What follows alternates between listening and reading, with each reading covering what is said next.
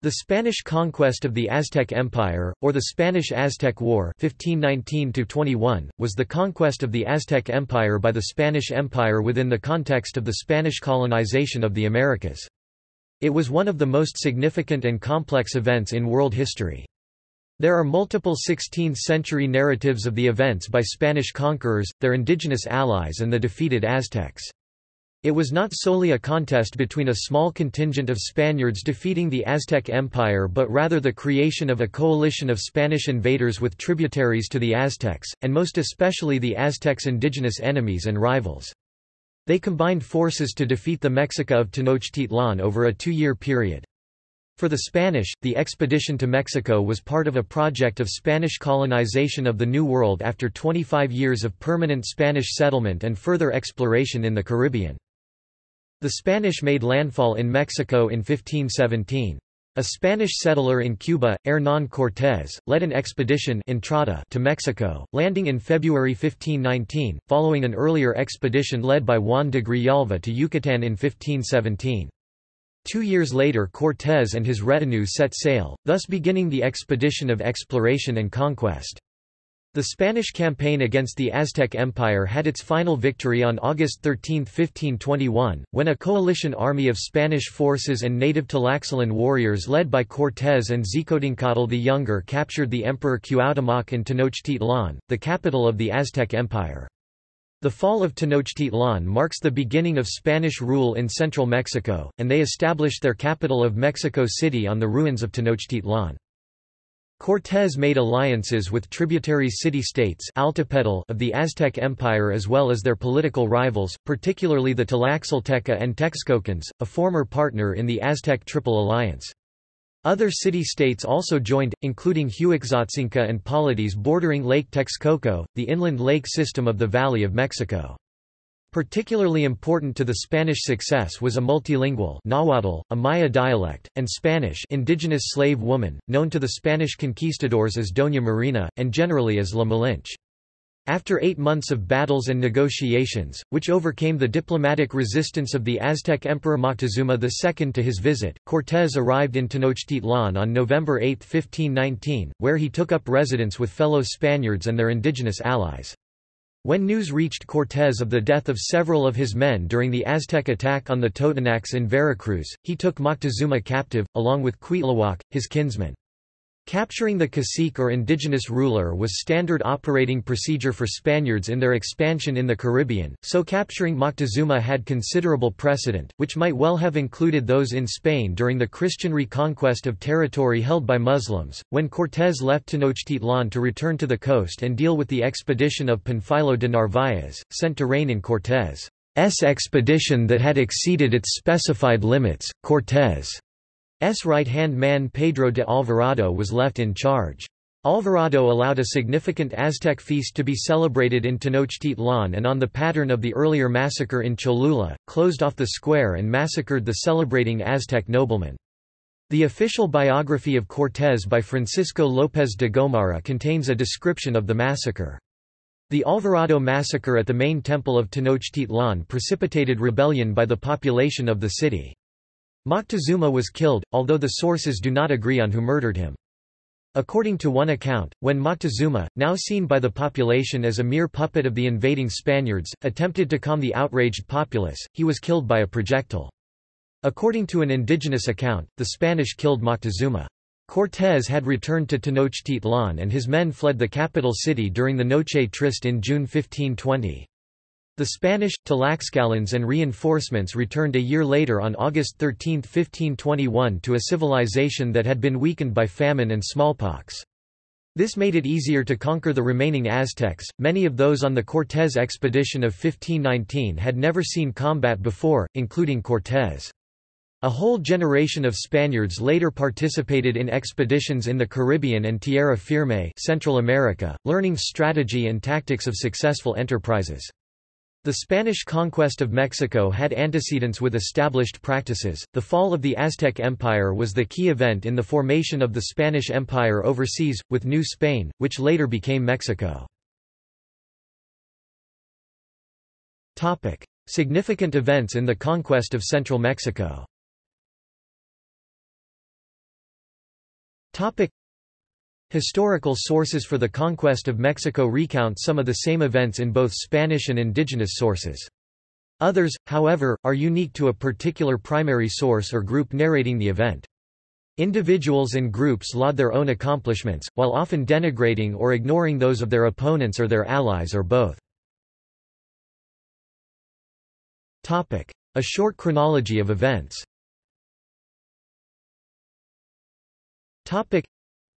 1428 – Creation of the Triple Alliance of Tenochtitlan, Texcoco, and Tlacopan.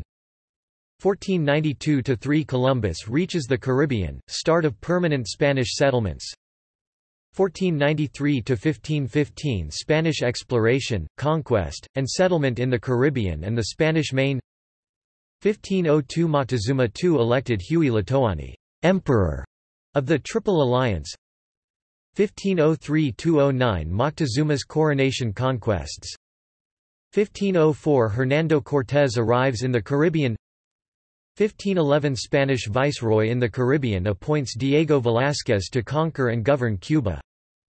1515 Texcocan monarch Nezahualpilli dies, Cacama succeeds to the throne, rebellion of Ixtlilxochitl 1517 Expedition of Francisco Hernández de Córdoba to the Yucatan coast 1518 Expedition of Juan de Grijalva to the Yucatan and Gulf coasts, appointment of Cortés to lead a third exploratory expedition 1519 February 10. Cortés expedition leaves Cuba taking Hernández de Córdoba's route Early 1519 Geronimo de Aguilar, shipwrecked Spaniard, bilingual in Maya, joins Cortés. Enslaved bilingual Nahua woman, now known as Doña Marina, is given to the Spaniards by indigenous in Tabasco April – Expedition lands in the Gulf Coast near San Juan de Ulua. May – Foundation of the Spanish town of Veracruz. June–August, Spanish expedition stops in Sempoala, alliance with Totonacs. August 16, march inland by Spaniards and new Sempoalan allies. September, Tlaxcalans initially test the Spanish forces, decide to join them as allies October to March to Cholula, Spanish massacre of Cholulans, final march to Tenochtitlan. November 8, 1519 meeting of Cortés and Moctezuma. November 14, 1519 Cortés takes Moctezuma prisoner 1520 April or May, Panfilo de Narváez arrives on the Gulf Coast, sent by Governor Velázquez to rein in Cortés Mid-May, Pedro de Alvarado massacres Aztec elites celebrating the festival of Toxcatl Late May, Cortés forces attack Narváez's forces at Sempoala, incorporation of those Spaniards into Cortés' forces. June 24 – Spanish forces return to Tenochtitlan. Late June – Uprising in Tenochtitlan, death of Moctezuma in unclear circumstances, perhaps killed by the Spaniards, perhaps by his own people, deaths of other leaders of the Triple Alliance.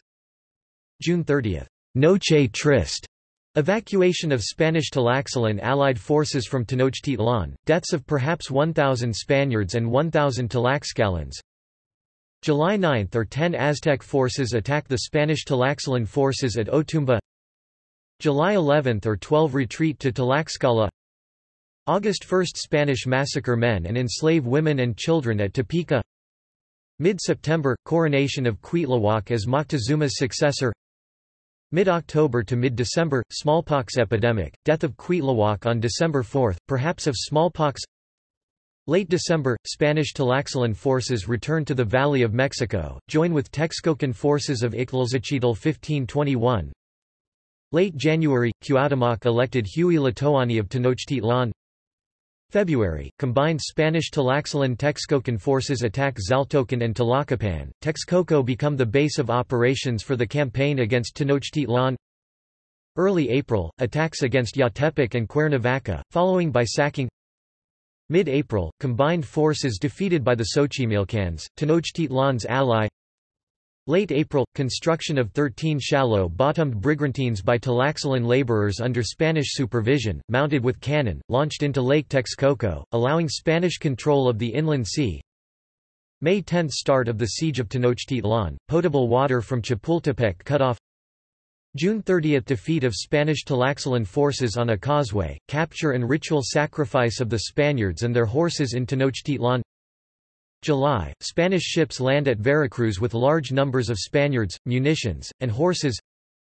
July 20–25 Battle for Tenochtitlan.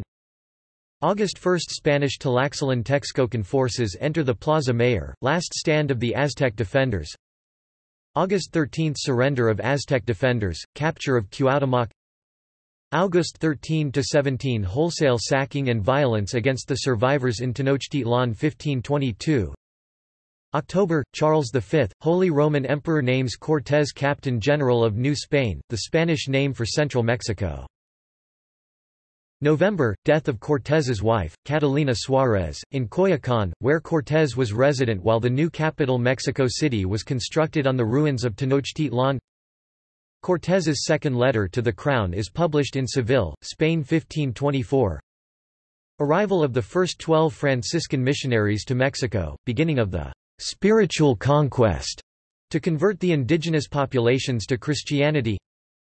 Conqueror Cristobal de Olid's expedition to Honduras, renounces Cortés' authority, Cortés' expedition to Honduras with the captive Cuauhtémoc 1525 February, execution of the three rulers of the former Triple Alliance, including Cuauhtémoc. Don Juan Velázquez Tlacotzin, former viceroy Cihuacoatl appointed governor of the indigenous sector of Mexico City 1525–30 Spanish conquest of Guatemala 1527–1547 Spanish conquest of Chiapas Topic. Sources for the conquest of central Mexico Topic. The conquest of Mexico, the initial destruction of the great pre-Columbian civilizations, is a significant event in world history.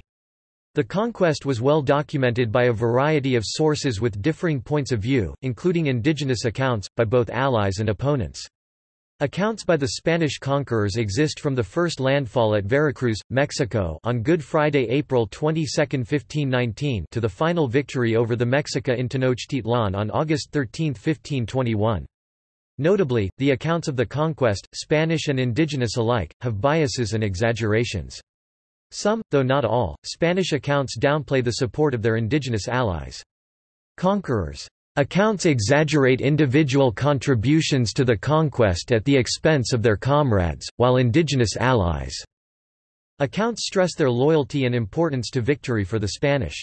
These accounts are similar to Spanish conquerors' Accounts contained in petitions for rewards, known as benemerito petitions, two lengthy accounts from the defeated indigenous viewpoint were created under the direction of Spanish friars, Franciscan Bernardino de Sahagun and Dominican Diego Duran, using indigenous informants. The first Spanish account of the conquest was written by lead conqueror Hernán Cortés, who sent a series of letters to the Spanish monarch Charles V, giving a contemporary account of the conquest from his point point of view, in which he justified his actions. These were almost immediately published in Spain and later in other parts of Europe. Much later, Spanish conqueror Bernal Díaz del Castillo, a well-seasoned participant in the conquest of central Mexico, wrote what he called the true history of the conquest of New Spain, countering the account by Cortés. S official biographer, Francisco López de Gomara. Bernal Díaz S account had begun as a benemerito petition for rewards but he expanded it to encompass a full history of his earlier expeditions in the Caribbean and Tierra Firme and the conquest of the Aztec. A number of lower-rank Spanish conquerors wrote benemerito petitions to the Spanish crown, requesting rewards for their services in the conquest, including Juan Díaz, Andrés de Tapia, García del Pilar, and Fray Francisco de Aguilar. Cortés S. right-hand man, Pedro de Alvarado did not write at any length about his actions in the New World, and died as a man of action in the Mixton War in 1542. Two letters to Cortés about Alvarado's campaigns in Guatemala are published in the Conquistadors. The chronicle of the so-called anonymous conqueror was written sometime in the 16th century, entitled in an early 20th century translation to English as Narrative of Some Things of New Spain and of the Great City of Temestitan i.e. Tenochtitlan. Rather than it being a petition for rewards for services, as many Spanish accounts were, the anonymous conqueror made observations about the indigenous situation at the time of the conquest. The account was used by 18th-century Jesuit Francisco Javier Clavijero in his descriptions of the history of Mexico. On the indigenous side, the allies of Cortés, particularly the Tlaxcalans, wrote extensively about their services to the Spanish crown in the conquest, arguing for special privileges for themselves. The most important of these are the pictorial Lienzo de Tlaxcala and the Historia de Tlaxcala by Diego Muñoz Camargo. Less successfully, the Nahua allies from Huexotzinco or near Tlaxcala argued that their contributions had been overlooked by the Spanish. In a letter in Nahuatl to the Spanish crown, the indigenous lords of Huexotzinco lay out their case in for their valorous service. The letter has been published in Nahuatl and English translation by James Lockhart in We People Here, Nahuatl Accounts of the Conquest of Mexico in 1991. Texcoco patriot and member of a noble family there, Fernando Alva Ixtlilxochitl, likewise petitioned the Spanish crown, in Spanish, saying that Texcoco had not received sufficient rewards for their support of the conquistadors, particularly after the Spanish were forced out of Tenochtitlan. The best known indigenous account of the conquest is Book 12 of Bernardino de Sahagun's General History of the Things of New Spain and published as the Florentine Codex, in parallel columns of Nahuatl and Spanish, with pictorials. Less well-known is Sahagun's 1585 revision of the conquest account, which shifts from the indigenous viewpoint entirely and inserts at crucial junctures passages lauding the Spanish and in particular Hernán Cortés.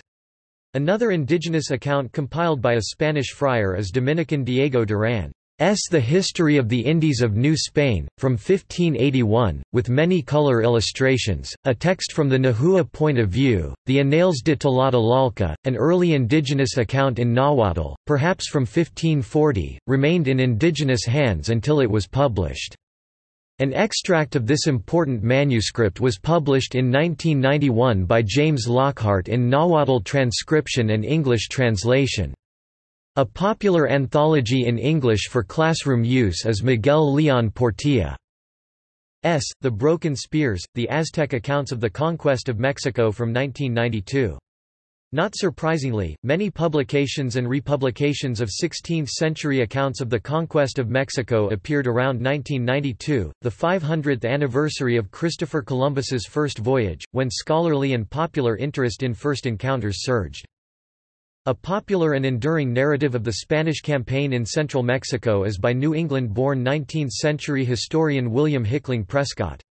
His History of the Conquest of Mexico, first published in 1843, remains an important unified narrative synthesis of the conquest. Prescott read and used all the formal writings from the 16th century, although few had been published by the mid-19th century when he was writing. It is likely that a 1585 revision of Bernardino de Sahagun S account of the conquest survives today only in the form of a copy because it was made in Spain for Prescott's project from a now lost original. Although scholars of the modern era point out its biases and shortcomings, there is nowhere they can get as good a unified narrative of the main events, crises, and course of the Mexican conquest as Prescott's version. Aztec omens for the conquest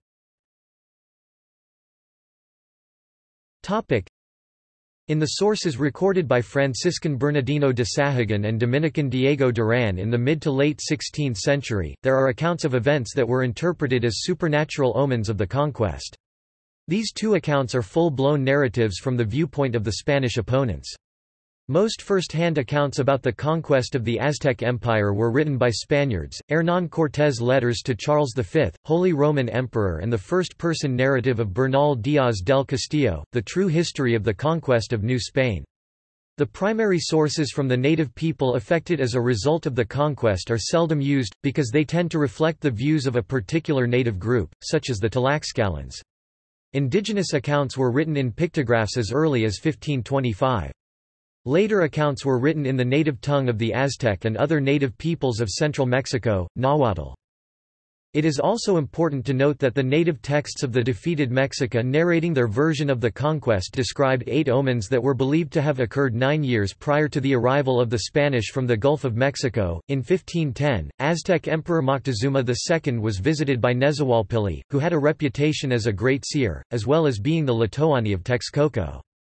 Nezahualpilli warned Moctezuma that he must be on guard, for in a few years Aztec cities would be destroyed. Before leaving, he said that there would be omens for Moctezuma to know that what he has been told is true.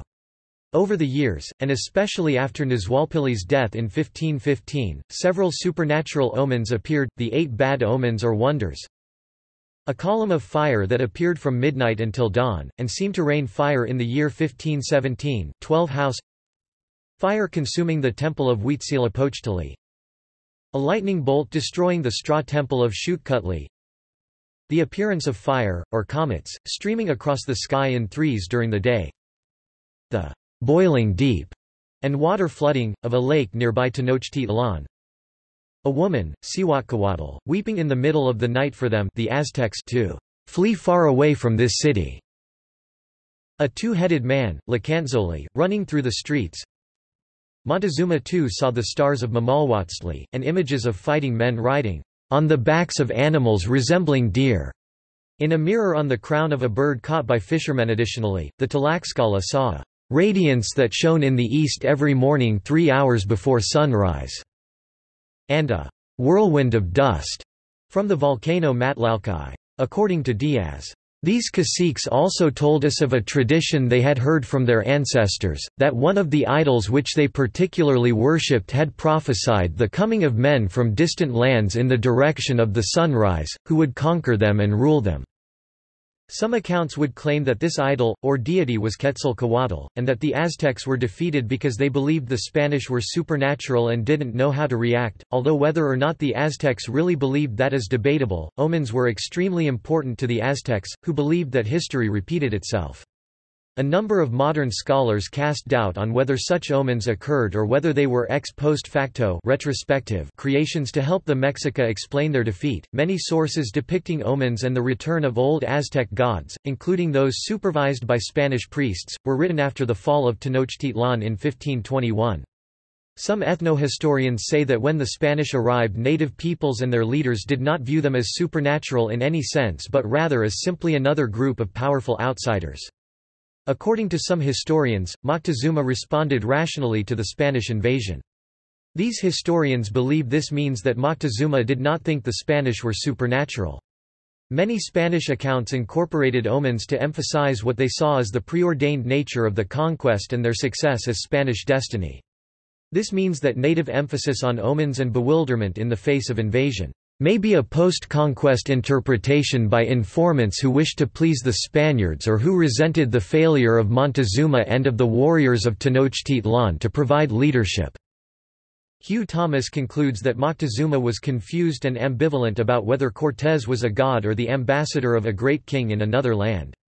Because the Spaniards arrived in 1519, Moctezuma knew this was the year of Ce Acatl, which is the year Quetzalcoatl was promised to return. Previously, during Juan de Grijalva's expedition, Moctezuma believed that those men were heralds of Quetzalcoatl, as Moctezuma, as well as everyone else in the Aztec Empire, were to believe that eventually Quetzalcoatl will return. Moctezuma even had glass beads that were left behind by Grijalva brought to Tenochtitlan and they were regarded as sacred religious relics. Spanish expeditions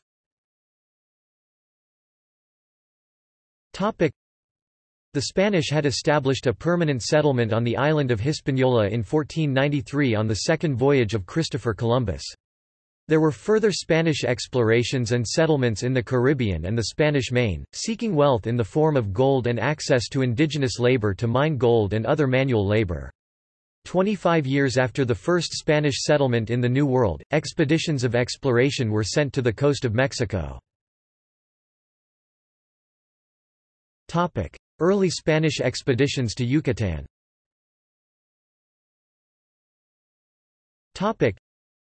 in 1517, Cuban governor Diego Velázquez commissioned a fleet of three ships under the command of Hernández de Córdoba to sail west and explore the Yucatan Peninsula. Córdoba reached the coast of Yucatan. The Mayans at Cape Catoche invited the Spanish to land, and the conquistadors read the requirement of 1513 to them, which offered the natives the protection of the King of Spain, if they would submit to him.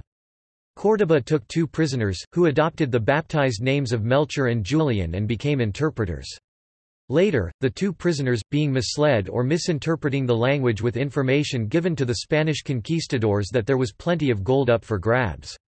On the western side of the Yucatan Peninsula, the Spanish were attacked at night by Maya chief Mochcua, a battle in which 50 men were killed. Córdoba was mortally wounded and only a remnant of his crew returned to Cuba. At that time, Yucatan was briefly explored by the conquistadors, but the Spanish conquest of Yucatan with its many independent city-state polities of the late post-classic Maya civilization came many years after the Spaniards and their indigenous allies. Rapid conquest of central Mexico 1519 -21. With the help of tens of thousands of Xiu Mayan warriors, it would take more than 170 years for the Spanish to establish full control of the Maya homelands, which extended from northern Yucatan to the central lowlands region of El Petén and the southern Guatemalan highlands. The end of this latter campaign is generally marked by the downfall of the Maya state based at Tayasal in the Petén region, in 1697. Cortés's expedition Topic. Topic. Commissioning the expedition Topic. Even before Juan de Grijalva returned to Spain, Velázquez decided to send a third and even larger expedition to explore the Mexican coast. Hernán Cortés, then one of Velázquez's favorites and brother-in-law, was named as the commander, which created envy and resentment among the Spanish contingent in the Spanish colony. Licenses for expeditions allowed the Crown to retain sovereignty over newly conquered lands while not risking its own assets in the enterprise. Anyone willing to make a financial contribution could potentially gain even more wealth and power. Men who brought horses, caballeros, received two shares of the spoils, one for military service, another because of the horse. Cortés invested a considerable part of his personal fortune and probably went into debt to borrow additional funds. Velázquez may have personally contributed nearly half the cost of the expedition.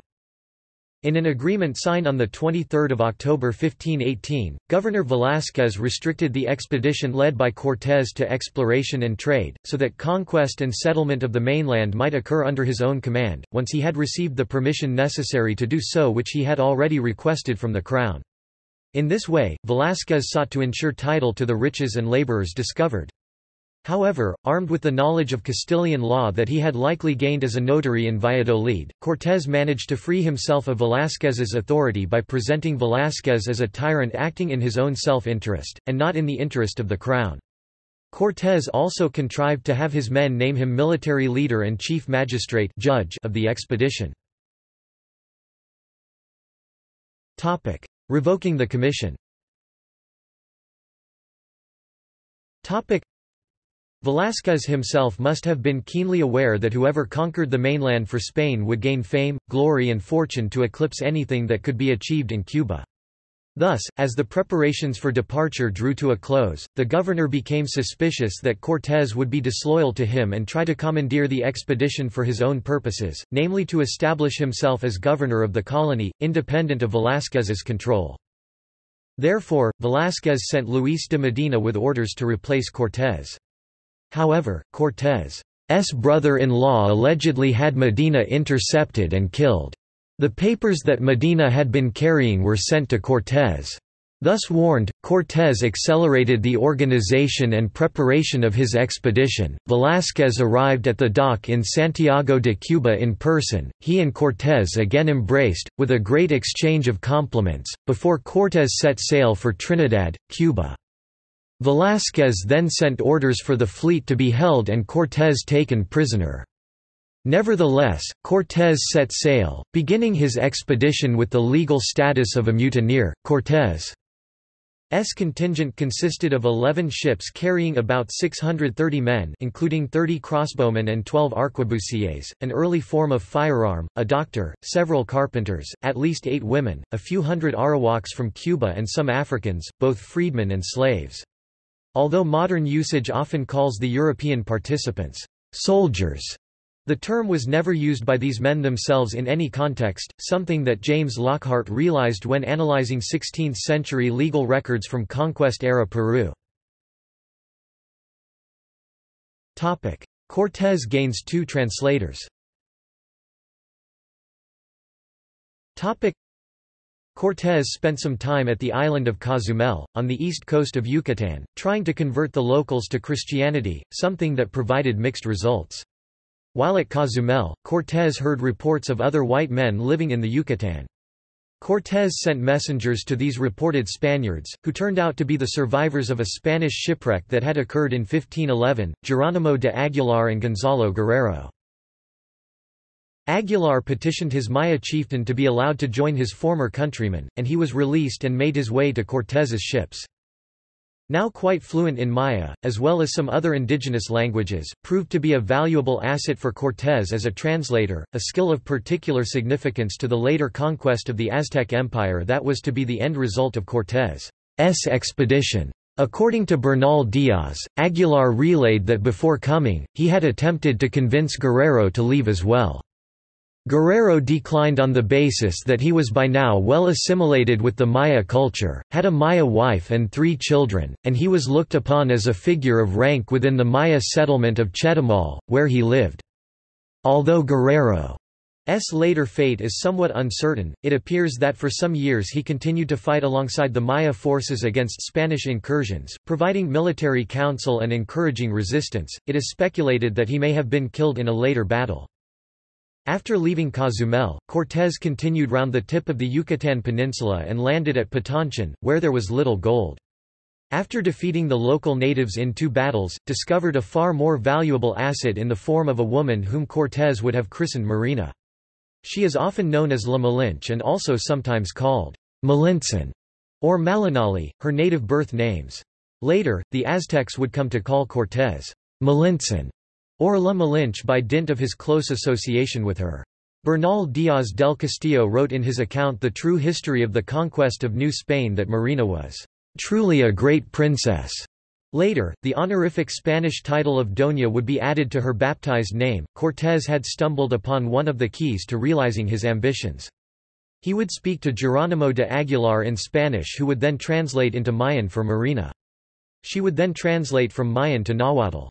With this pair of translators, Cortés could now communicate to the Aztecs. How effectively is still a matter of speculation, since Marina did not speak the dialect of the Aztecs, nor was she familiar with the protocols of the Aztec nobility, who were renowned for their flowery, flattering talk.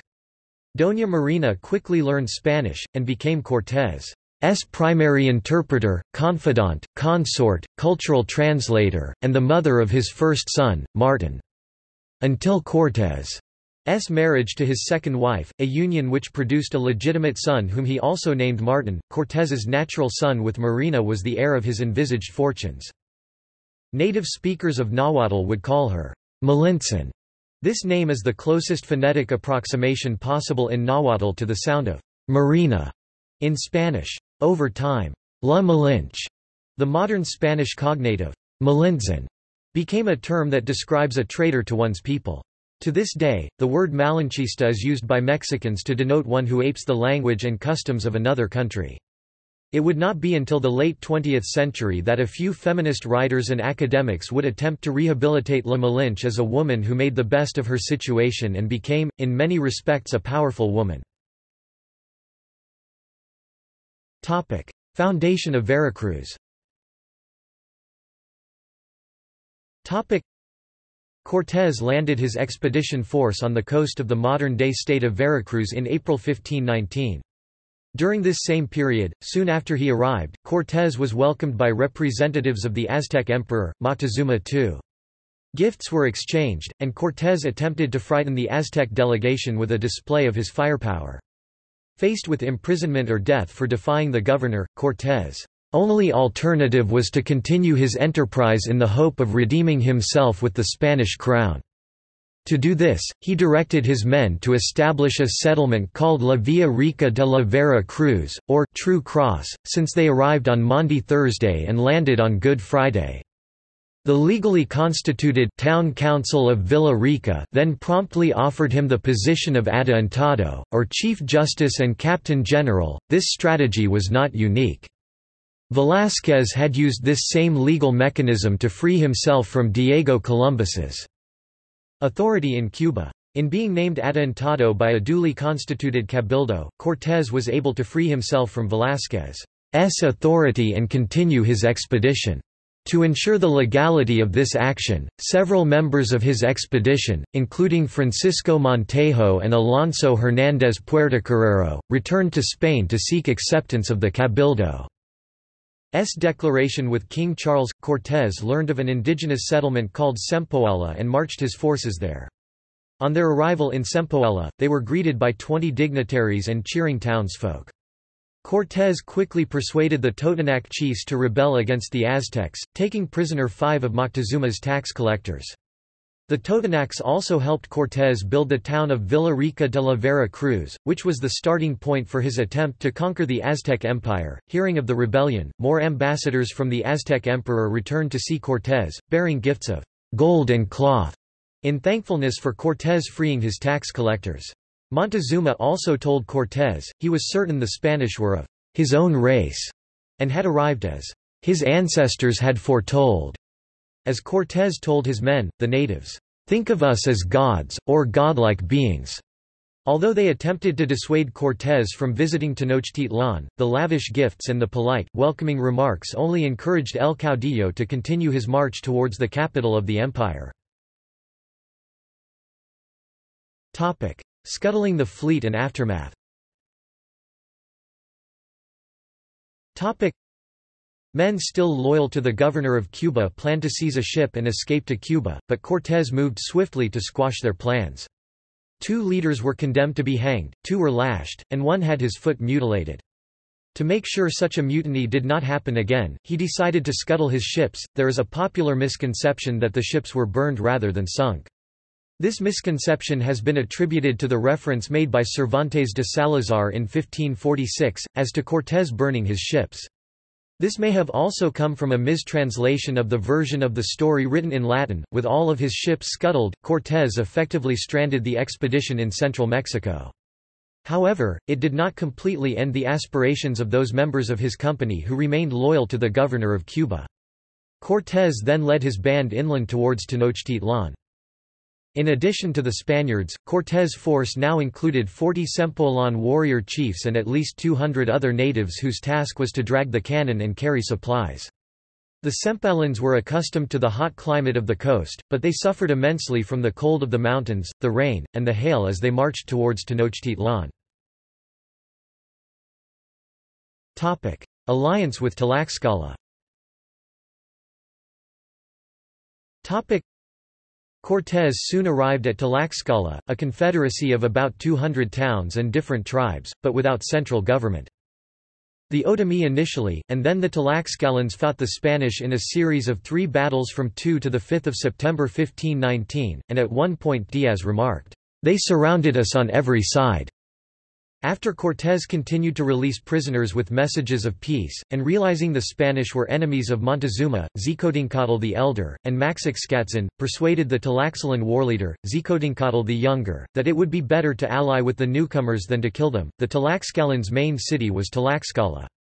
After almost a century of fighting the Flower Wars, a great deal of hatred and bitterness had developed between the Tlaxcalans and the Aztecs.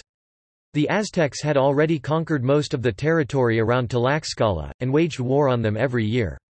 It has been suggested that the Aztecs left Tlaxcala independent so that they would have a constant supply of war captives to sacrifice to their gods. On the 23rd of September 1519, Cortés arrived in Tlaxcala and was greeted with joy by the rulers, who saw the Spanish as an ally against the Aztecs.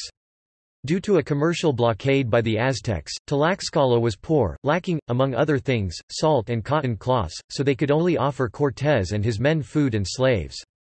Cortés stayed 20 days in Tlaxcala, giving his men time to recover from their wounds from the battles. Cortés seems to have won the true friendship and loyalty of the senior leaders of Tlaxcala, among them Maxixcatzin and Xicotencatl the Elder, although he could not win the heart of Xicotencatl the Younger.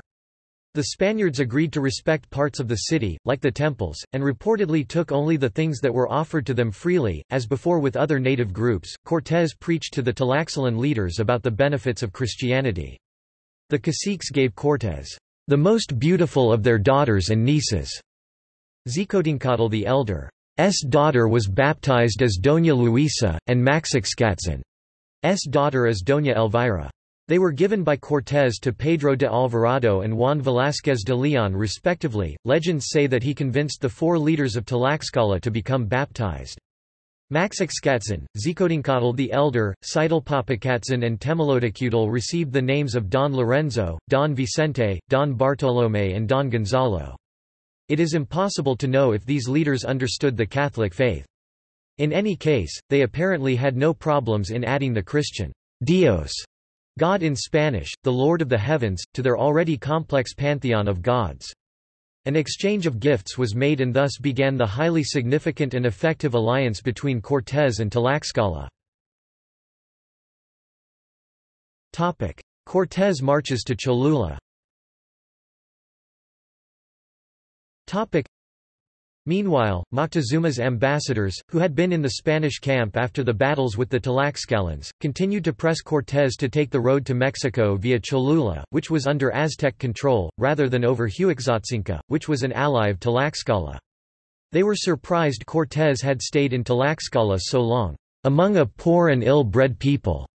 Cholula was one of the most important cities of Mesoamerica, the second largest, and probably the most sacred. Its huge pyramid larger in volume than the Great Pyramids of Egypt made it one of the most prestigious places of the Aztec religion. However, it appears that Cortés perceived Cholula more as a military threat to his rear guard than a religious center, as he marched to Tenochtitlan. He sent emissaries ahead to try a diplomatic solution to enter the city. Cortés, who had not yet decided to start a war with the Aztec Empire, decided to offer a compromise. He accepted the gifts of the Aztec ambassadors, and at the same time accepted the offer of the Tlaxcalan allies to provide porters and 1,000 warriors on his march to Cholula. He also sent two men, Pedro de Alvarado, and Bernardino Vázquez de Tapia, directly to Tenochtitlan, as ambassadors and to scout for an appropriate route. Massacre of Cholula there are contradictory reports about what happened at Cholula. Moctezuma had apparently decided to resist with force the advance of Cortés and his troops, and it seems that Moctezuma ordered the leaders of Cholula to try to stop the Spanish. Cholula had a very small army, because as a sacred city they put their confidence in their prestige and their gods. According to the chronicles of the Tlaxcalteca, the priests of Cholula expected to use the power of Quetzalcoatl, their primary god, against the invaders. Cortés and his men entered Cholula without active resistance. However, they were not met by the city leaders and were not given food and drink on the third day. Sempoalans reported that fortifications were being constructed around the city and the Tlaxcalans were warning the Spaniards. Finally, La Malinche informed Cortés, after talking to the wife of one of the lords of Cholula, that the locals planned to murder the Spanish in their sleep. Although he did not know if the rumor was true or not, Cortés ordered a pre-emptive strike, urged by the Tlaxcalans, the enemies of the Cholulans. Cortés confronted the city leaders in the main temple alleging that they were planning to attack his men. They admitted that they had been ordered to resist by Moctezuma, but they claimed they had not followed his orders. Regardless, on command, the Spaniards seized and killed many of the local nobles to serve as a lesson. They captured the Cholulan leaders Tlaquiach and Tlalchiac and then ordered the city to be set on fire. The troops started in the palace of Zacayitzin, and then on to Quialinco and Yetzcoloc. In letters to his king, Cortés claimed that in three hours' time his troops helped by the Tlaxcalans killed 3,000 people and had burned the city. Another witness, Vasquez de Tapia, claimed the death toll was as high as 30,000. However, since the women and children, and many men, had already fled the city, it is unlikely that so many were killed. Regardless, the massacre of the nobility of Cholula was a notorious chapter in the conquest of Mexico. The Azteca and Tlaxcalteca histories of the events leading up to the massacre vary. The Tlaxcalteca claimed that their ambassador Patlahuatzin was sent to Cholula and had been tortured by the Cholula. Thus, Cortés was avenging him by attacking Cholula. Historia de Tlaxcala, por Diego Muñoz Camargo, lib. 2 cap. v. 1550. The Azteca version put the blame on the Tlaxcalteca, claiming that they resented Cortés going to Cholula instead of Huexotzinco. The massacre had a chilling effect on the other city-states and groups affiliated with the Aztecs, as well as the Aztecs themselves. Tales of the massacre convinced the other cities in the Aztec Empire to entertain seriously Cortés' proposals rather than risk the same fate. Cortés then sent emissaries to Moctezuma with the message that the people of Cholula had treated him with trickery and had therefore been punished. In one of his responses to Cortés, Moctezuma blamed the commanders of the local Aztec garrison for the resistance in Cholula, and recognizing that his long-standing attempts to dissuade Cortés from coming to Tenochtitlan with gifts of gold and silver had failed, Moctezuma finally invited the conquistadors to visit his capital city, according to Spanish sources, after feeling as though nothing else could be done. Entry into Tenochtitlan on 8 November 1519, after the fall of Cholula, Cortés and his forces entered Tenochtitlan, the island capital of the Mexica Aztecs. It is believed that the city was one of the largest in the world at that time, and the largest in the Americas up to that point. The most common estimates put the population at around 60,000 to over 300,000 people. If the population of Tenochtitlan was 250,000 in 1519, then Tenochtitlan would have been larger than every city in Europe except perhaps Naples and Constantinople, and four times the size of Seville. To the Aztecs, Tenochtitlan was the altar for the empire, as well as being the city that Quetzalcoatl would eventually return to. Cortés welcomed by Moctezuma Upon meeting, Hernán Cortés claimed to be the representative of the Queen, Doña Juana of Castile, and her son, King Carlos I of Castile and Holy Roman Emperor Charles V, all Spanish royalty, had then made an appearance. Sahagun reports that Moctezuma welcomed Cortés to Tenochtitlan on the Great Causeway, Xolac. The chiefs who accompanied Moctezuma were, Cacama, king of Texcoco, Altepetl, Tetlapanquetzaltin, king of Tlacopan, Itzcuautzin the Tlachichcalcatl, lord of Tlatelolco Altepetl, and Topantimac, Moteczuma's treasurer in Tlatelolco. Moctezuma and his chiefs were adorned with blazing gold on their shoulders with feathers and jewels. On the causeway where the two groups met, enormous numbers of people from Tenochtitlan watched the exchange. Moctezuma went to greet Cortés with his brother, Cuitlahuac, and his nephew, Cacamatzin. Cortés strode ahead of his commanders and attempted to embrace Moctezuma, but was restrained by Cuitlahuac and Cacamatzin. Cortés was not permitted to touch the emperor, no one was allowed. After greetings, Moctezuma personally dressed only Cortés in a priceless feather work flower, a golden jewelry-studded necklace and a garland of flowers. Moctezuma then brought Cortés to the shrine of the goddess Toci, where he gave him a more private greeting, in which he practically gave the Aztec Empire to Cortés, as he reportedly said that it was his desire to serve. A fragment of the greetings of Moctezuma says, my lord, you have become fatigued, you have become tired, to the land you have arrived. You have come to your city, Mexico, here you have come to sit on your place, on your throne. Oh, it has been reserved to you for a small time, it was conserved by those who have gone, your substitutes. This is what has been told by our rulers, those of whom governed this city, ruled this city. That you would come to ask for your throne, your place, that you would come here. Come to the land, come and rest, take possession of your royal houses, give food to your body." Moctezuma had the royal palace of Axayacatl, Moctezuma's father, prepared for Cortés. On the same day that the Spanish expedition and their allies entered Tenochtitlan, Moctezuma came to visit Cortés and his men. What happened in this second meeting remains controversial. According to several Spanish versions, some written years or decades later, Moctezuma first repeated his earlier, flowery welcome to Cortés on the Great Causeway, but then went on to explain his view of what the Spanish expedition represented in terms of Aztec tradition and lore, including the idea that Cortés and his men, pale, bearded men from the east were the return of characters from Aztec legend. At the end of this explanation, the emperor pledged his loyalty to the King of Spain and accepted Cortés as the king's representative. According to Diaz, Moctezuma said to Cortés, "'As for your great king, I am in his debt and will give him of what I possess.'"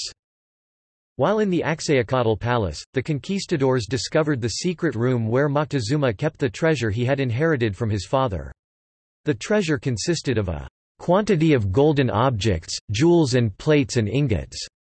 Diaz noted, the sight of all that wealth dumbfounded me. Cortés later asked Moctezuma to allow him to erect a cross and an image of Virgin Mary next to the two large idols of Huichilobos and Tezcatlipoca, after climbing the 114 steps to the top of the main temple pyramid, a central place for religious authority. Moctezuma and his papas were furious at the suggestion, with Moctezuma claiming his idols. Give us health and rain and crops and weather, and all the victories we desire, after Cortés' request surrounding the questioning of raising the cross and the image of the Virgin Mary, the Mexica then killed seven Spanish soldiers Cortés had left on the coast, including Cortés' Villarica constable Juan de Escalante, and many Totonacs. Cortés along with five of his captains and Doña Marina and Aguilar, convinced Moctezuma to "...come quietly with us to our quarters, and make no protest, less than pre greater than slash pre greater than dot dot dot if you cry out, or raise any commotion, you will immediately be killed. Moctezuma was later implicated by Qualpopoca and his captains, who had killed the Spanish soldiers.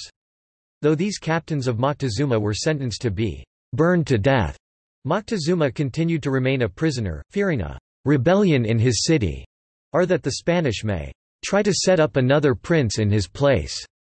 This, despite Moctezuma S chieftains, nephews and relations suggesting they should attack the Spanish. As of 14 November 1519, Moctezuma was Cortés' prisoner as insurance against any further resistance. Until the end of May 1520, Moctezuma lived with Cortés in the palace of Axayacatl. However, Moctezuma continued to act as emperor, subject to Cortés' overall control. During the period of his imprisonment, Moctezuma stated, he was glad to be a prisoner, since either our gods gave us power to confine him or Huichilobos permitted it, he would even play the game of Totoloc with Cortés. After the treason of Cacamatzin, Moctezuma and his caciques, were forced to take a more formal oath of allegiance to the King of Spain, though Moctezuma could not restrain his tears. Moctezuma told his caciques that their ancestral tradition, set down in their books of records, that men would come from the direction of the sunrise to rule these lands and that he believed less than pre greater than slash pre greater than dot dot dot we were these men. Cortés sent expeditions to investigate the Aztec sources of gold in the provinces of Zacatula, Tuxtepec, and the land of the Chinantec. Moctezuma was then made to pay a tribute to the Spanish king, which included his father's treasure. These treasures, the Spaniards melted down to form gold bars stamped with an iron die. Finally, Moctezuma let the Catholic conquistadors build an altar on their temple, next to the Aztec idols. Finally, the Aztec gods allegedly told the Mexican papas, or priests, they would not stay unless the Spaniards were killed and driven back across the sea. Moctezuma warned Cortés to leave at once, as their lives were at risk. Many of the nobility rallied around Cuitlahuac, the brother of Moctezuma and his heir apparent, however, most of them could take no overt action against the Spanish unless the order was given by the emperor. Defeat of Narvaez. In April 1520, Cortés was told by Moctezuma, that a much larger party of Spanish troops, consisting of 19 ships and 1,400 soldiers under the command of Panfilo de Narváez, had arrived. Panfilo de Narváez had been sent by Governor Velázquez from Cuba to kill or capture Cortés, who had defied Velázquez's orders, leaving his least reliable soldiers under the command of the headstrong Pedro de Alvarado to guard Moctezuma, Cortés set out against de Narváez, who had advanced onto Sempoala. Cortés surprised his antagonist with a night attack, during which his men wounded Narváez in the eye and took him prisoner. After Cortés permitted the defeated soldiers to settle in the country, they passed with more or less willingness to Cortés' side. Hernán Cortés gained their support when he promised to make them rich and give them commands rewards. Cortés then made a rapid return to Tenochtitlan, to relieve the besieged Alvarado and the other invaders. Cortés led his combined forces on an arduous trek back over the Sierra Madre Oriental, returning to Mexico on St. John's Day June 1520, with 1,300 soldiers and 96 horses, plus 2,000 Tlaxcalan warriors. The Aztec response When Cortés returned to Tenochtitlan in late May, he found that Alvarado and his men had attacked and killed many of the Aztec nobility in the massacre in the Great Temple, that happened during a religious festival organized by the Aztec. The Great Temple was central to the Aztec. S cosmological views, the temple served as a burial ground for the offerings made to different gods, such as the gods of fertility, mountains, rain, and earth. Considering the centrality and the importance of the Great Temple as a religious and cultural monument could potentially have influenced the decision to attack a location such as this. Alvarado S explanation to Cortés was that the Spaniards had learned that the Aztecs planned to attack the Spanish garrison in the city once the festival was complete, so he had launched a pre-emptive attack. Considerable doubt has been cast by different commentators on this explanation, which may have been self-serving rationalization on the part of Alvarado, who may have attacked out of fear or greed where no immediate threat existed.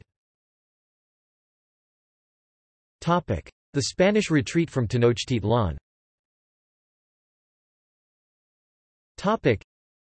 In any event, the population of the city rose en masse after the Spanish attack, which the Spanish did not expect. Fierce fighting ensued, and the Aztec troops besieged the palace housing the Spaniards and Moctezuma. Alvarado and the rest of the Spanish were held hostage by the Aztecs for a month. The nobility of Tenochtitlan chose Cuitlahuac as Huey Tlatoani emperor. Cortés ordered Moctezuma to speak to his people from a palace balcony and persuade them to let the Spanish return to the coast in peace. Moctezuma was jeered and stones were thrown at him, mortally wounding Moctezuma. Aztec sources state the Spaniards killed him. Cortés had formed an alliance with Tlaxcala. This alliance had many victories, including the overtaking of the Aztec capital Tenochtitlan. Their capital was used as a cosmic center, where they fed sacrifices to the gods through both human bodies and bloodletting. The capital was also used for central and imperialistic governmental control. Preparations for war began in their capital. The Spanish and their allies, including the Tlaxcala, had to flee the central city, as the people of Tenochtitlan had risen against them. The Spanish' situation could only deteriorate. Because the Aztecs had removed the bridges over the gaps in the causeways that linked the city to the surrounding lands, Cortés' men constructed a portable bridge to cross the water of the lake. On the rainy night of 10 July 1520, the Spaniards and their allies set out for the mainland via the causeway to Tlacopan. They placed the portable bridge in the first gap, but at that moment their movement was detected and Aztec forces attacked, both along the causeway and by means of canoes on the lake. The Spanish were thus caught on a narrow road with water or buildings on both sides. The retreat quickly turned into a rout. The Spanish discovered that they could not remove their portable bridge unit from the first gap, and so had no choice but to leave it behind. The bulk of the Spanish infantry, left behind by Cortés and the other horsemen, had to cut their way through the masses of Aztec warriors opposing them. Many of the Spaniards, weighed down by their armor and booty, drowned in the causeway gaps or were killed by the Aztecs. Much of the wealth the Spaniards had acquired in Tenochtitlan was lost. The bridge was later called Alvarado's Leap. The channel is now a street in Mexico City, called Puente de Alvarado.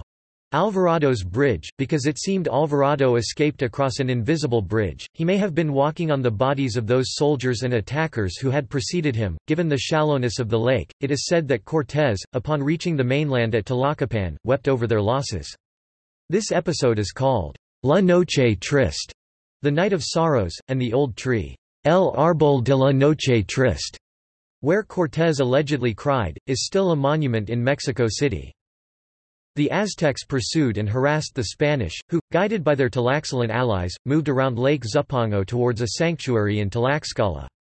On July 14, 1520, the Aztecs attempted to destroy the Spanish for good at the Battle of Otumba. Although hard-pressed, the Spanish infantry was able to hold off the overwhelming numbers of enemy warriors, while the Spanish cavalry under the leadership of Cortés charged through the enemy ranks again and again. When Cortés and his men killed one of the Aztec leaders, the Aztecs broke off the battle and left the field. In this retreat, the Spaniards suffered heavy casualties, losing 860 soldiers, 72 other Spanish members of Cortés' group, including five women, and a thousand Tlaxcalan warriors. Several Aztec noblemen loyal to Cortés, including Cacamatzin, and their families also perished, including Moctezuma's son and two daughters. Spaniards find refuge in Tlaxcala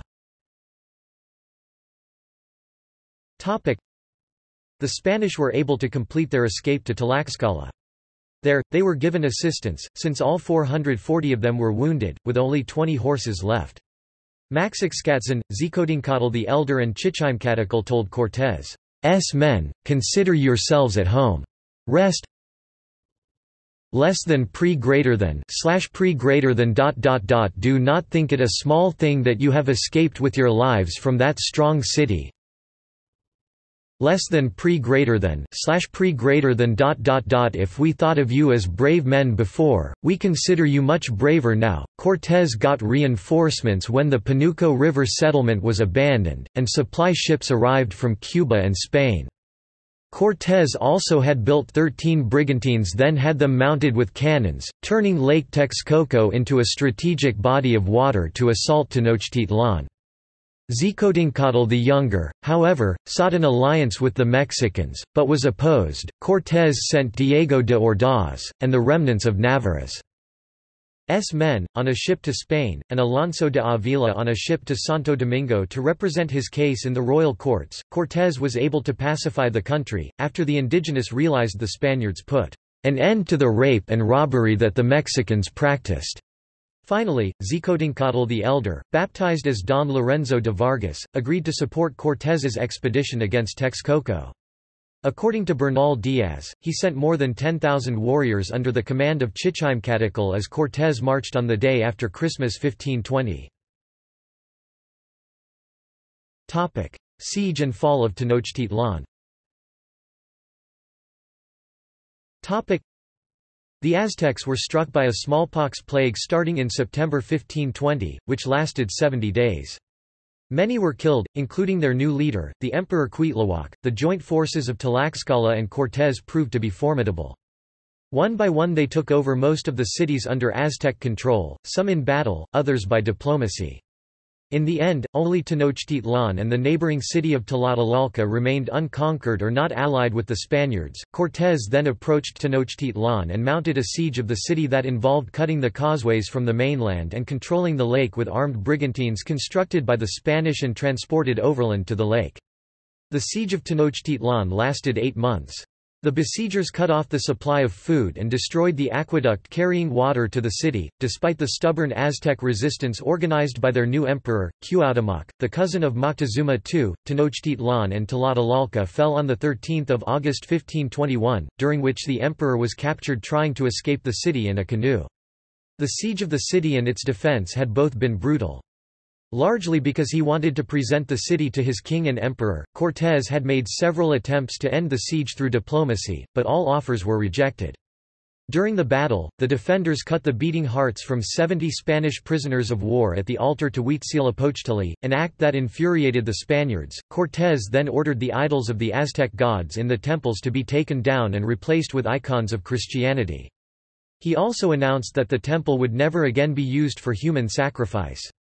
Human sacrifice and reports of cannibalism, common among the natives of the Aztec Empire, had been a major reason motivating Cortés and encouraging his soldiers to avoid surrender while fighting to the death. Tenochtitlan had been almost totally destroyed using the manpower of the Tlaxcalans plus fire and cannon fire during the siege, and once it finally fell, the Spanish continued its destruction, as they soon began to establish the foundations of what would become Mexico City on the site.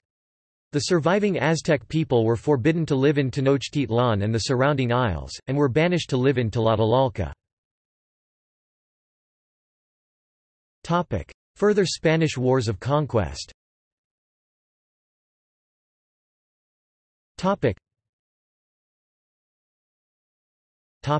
Michoacán after hearing about the fall of the Aztec Empire, Tarascan ruler Cazonci Tangaxuan II sent emissaries to the Spanish victors the Tarascan state was contemporary with and an enemy of the Aztec Empire. A few Spaniards went with them to Tzintzuntzan where they were presented to the ruler and gifts were exchanged. They returned with samples of gold and Cortés' interest in the Tarascan state was awakened. In 1522 a Spanish force under the leadership of Cristobal de Olid was sent into Tarascan territory and arrived at Tzintzuntzan within days. The Tarascan army numbered many thousands, perhaps as many as 100,000, but at the crucial moment they chose not to fight. Tangaxuan submitted to the Spanish administration, but for his cooperation was allowed a large degree of autonomy. This resulted in a strange arrangement where both Cortés and Tangaxuan considered themselves rulers of Michoacán for the following years. The population of the area paid tribute to them both. Nuño Beltrán de Guzmán, then president of the First Audiencia decided, to march on northwestern Mexico with a force of 5,000 to 8,000 men in search for new populations to subdue, and when he arrived in Michoacán and found out that Tangaxuan was still de facto ruler of his empire he allied himself with a Tarascan noble Don Pedro Panza Quiniangari against the Cazonci. The Cazonci was tried with plotting a rebellion, withholding tribute, sodomy and heresy, and he was tortured and executed. His ashes were thrown into the Lerma River. A period of violence and turbulence began. During the next decades, Tarascan puppet rulers were installed by the Spanish government. Conquest of the Yucatan Peninsula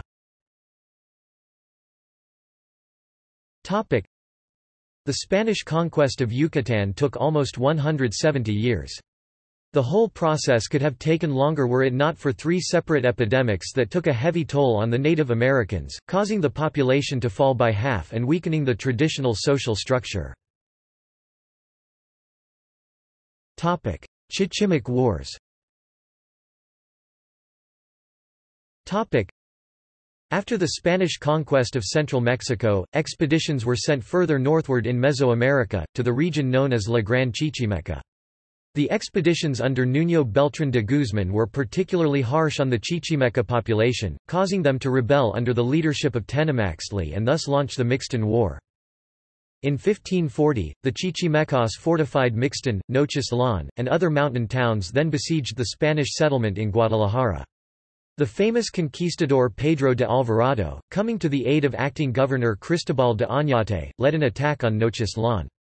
However, the Chichimecas counter-attacked and Alvarado's forces were routed. Under the leadership of Viceroy Don Antonio de Mendoza, the Spanish forces and their Indian allies ultimately succeeded in recapturing the towns and suppressing resistance. However, fighting did not completely come to a halt in the ensuing years. In 1546, Spanish authorities discovered silver in the Zacatecas region and established mining settlements in Chichimeca territory which altered the terrain and the Chichimeca traditional way of life. The Chichimeca resisted the intrusions on their ancestral lands by attacking travelers and merchants along the Silver Roads. The ensuing Chichimeca War 1550 would become the longest and costliest conflict between Spanish forces and indigenous peoples in the Americas. The attacks intensified with each passing year. In 1554, the Chichimecas inflicted a great loss upon the Spanish when they attacked a train of 60 wagons and captured more than 30,000 pesos worth of valuables. By the 1580s, thousands had died and Spanish mining settlements in Chichimeca territory were continually under threat. In 1585, Don Alvaro Manrique de Zuniga, Marquis of Villamanrique, was appointed viceroy. The viceroy was infuriated when he learned that some Spanish soldiers had begun supplementing their incomes by raiding the villages of peaceful Indians in order to sell them into slavery. With no military end to the conflict in sight, he was determined to restore peace to that region and launched a full-scale peace offensive by negotiating with Chichimeca leaders and providing them with lands, agricultural supplies, and other goods. This policy of peace by purchase finally brought an end to the Chichimeca War. The Aztecs under Spanish rule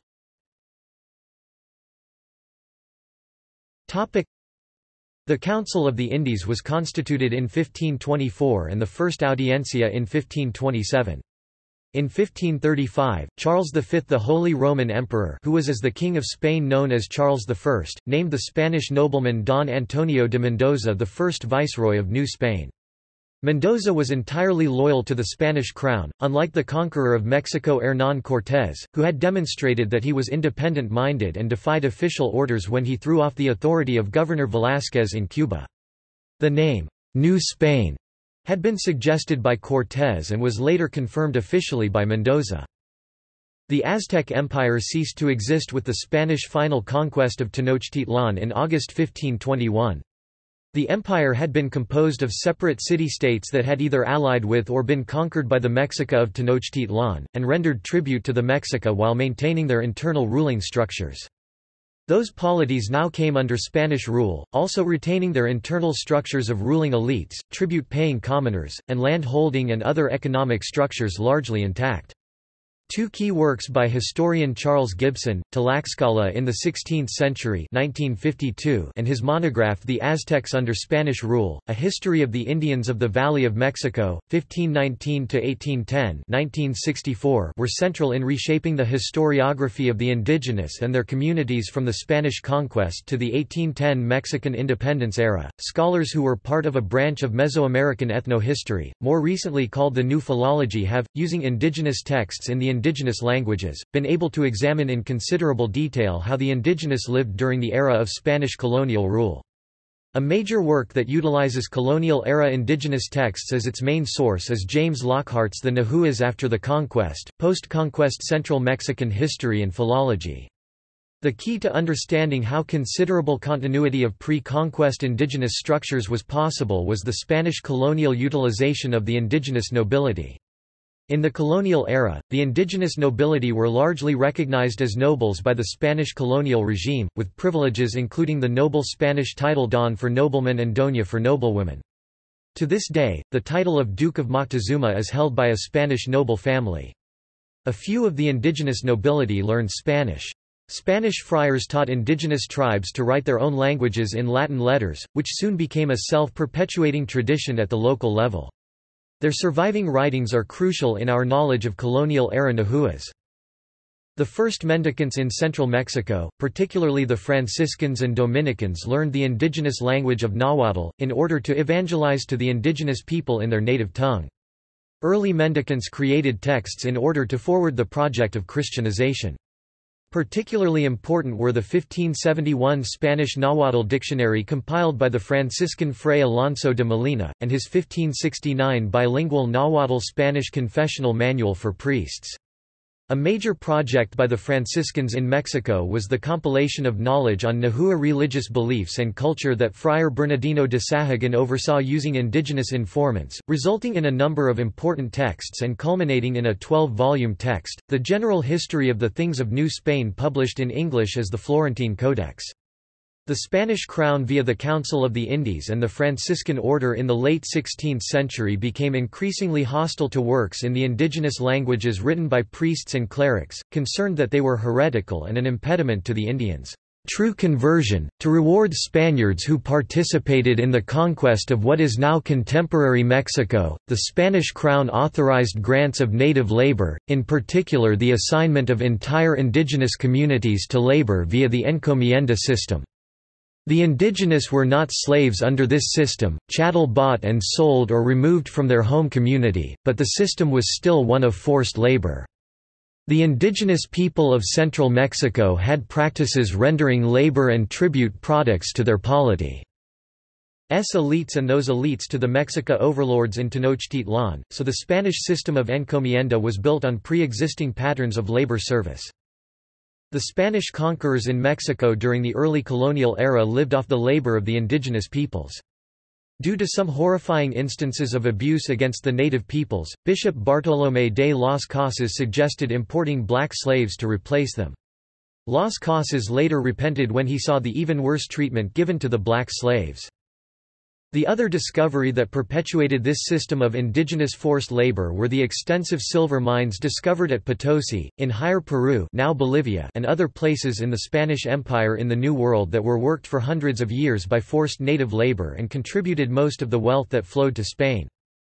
According to West, "...slavery was a well-established institution among the Aztecs and their neighbors." During the conquest, Spaniards legally enslaved large numbers of natives, men, women and children, as booty of warfare, branding each individual on the cheek. In fact, Cortés owned several hundred, used mainly in gold placering. Indian slavery was abolished in 1542 but persisted until the 1550s. Spain spent enormous amounts of this wealth hiring mercenaries to fight the Protestant Reformation and to halt the Turkish invasions of Europe. The silver was used to purchase commercial goods abroad, as European manufactured goods were not in demand in Asia and the Middle East. The Manila Galleon brought in far more silver direct from South American mines to China than the overland Silk Road, or even European trade routes in the Indian Ocean cut. The Aztec education system was abolished and replaced by a very limited church education. Even some foods associated with Mesoamerican religious practice, such as amaranth, were forbidden. In the 16th century, perhaps 240,000 Spaniards entered American ports. They were joined by 450,000 in the next century. Unlike the English-speaking colonists of North America, the majority of the Spanish colonists were single men who married or made concubines of the natives, and were even encouraged to do so by Queen Isabella during the earliest days of colonization. As a result of these unions, as well as concubinage and secret mistresses, mixed-race individuals known as mestizos became the majority of the Mexican population in the centuries following the Spanish conquest. Cultural depictions of the Aztecs.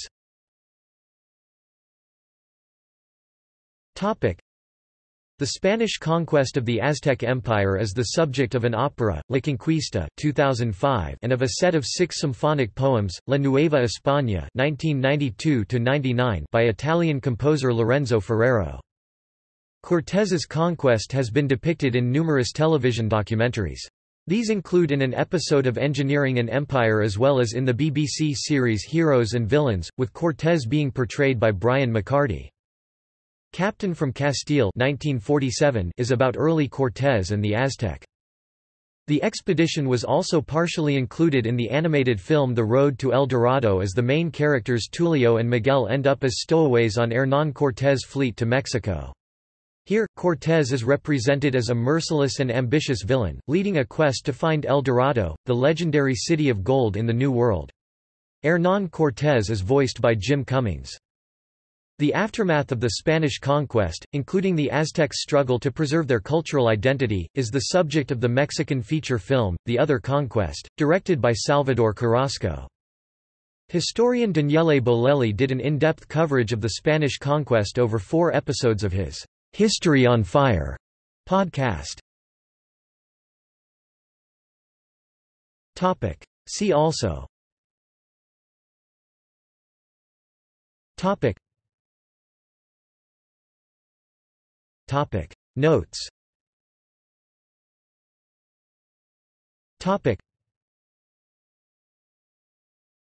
Topic. Further reading. Topic. Topic. Primary sources Topic. Topic. Secondary sources Topic. Topic. Additional bibliography Topic. Topic. External links Topic. Hernán Cortés on the web, web directory with thumbnail galleries Catholic Encyclopedia 1911 Conquistadors, with Michael Wood, website for 2001 PBS documentary. Ibero-American Electronic Text Series presented online by the University of Wisconsin Digital Collections Center.